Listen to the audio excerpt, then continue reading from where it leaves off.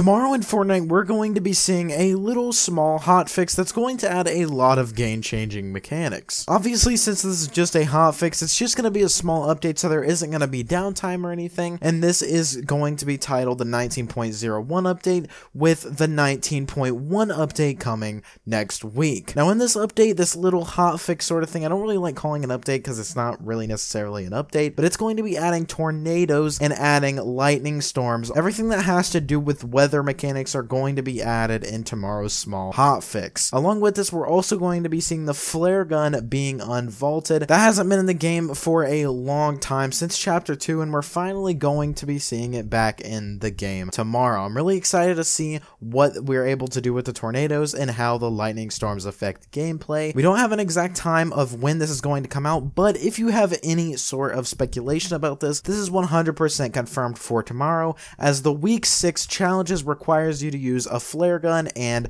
go into a tornado. So let me know if you guys are excited about this down below in the comments. Make sure you guys subscribe to the channel for more.